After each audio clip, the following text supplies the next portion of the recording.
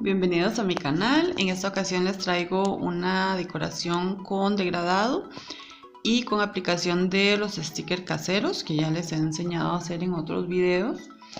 Voy a comenzar, bueno, tengo una base en color blanco en la uña y voy a comenzar a hacer el degradado de esta forma con una esponjita y con esmaltes de diferentes colores, los que ustedes tengan gusto de usar. Yo utilicé el rosado, el celeste y el amarillo.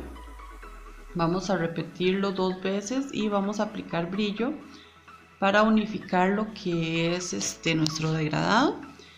Y bueno, aquí tengo algunos stickers que no he utilizado y voy a aplicarlos de esta forma. Los, los desprendemos de la base y los voy a aplicar con un estampador para tener un poquito más de control voy a aplicar esta florcita que no lo vieron en cámara porque se, se me cortó el video entonces ahora voy a aplicar también lo que es la mariposa y voy a comenzar a presionar con este pincel que tiene esta partecita de goma para que no se hagan burbujas entre lo que es nuestra capa de esmalte y nuestros stickers y no se vayan a levantar.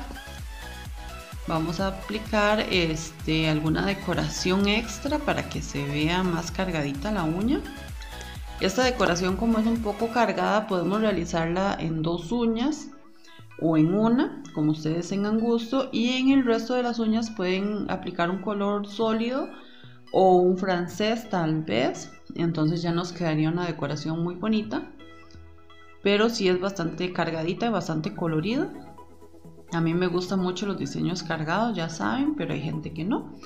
Entonces así se puede realizar. Vamos a aplicar el brillo y este sería nuestro resultado final.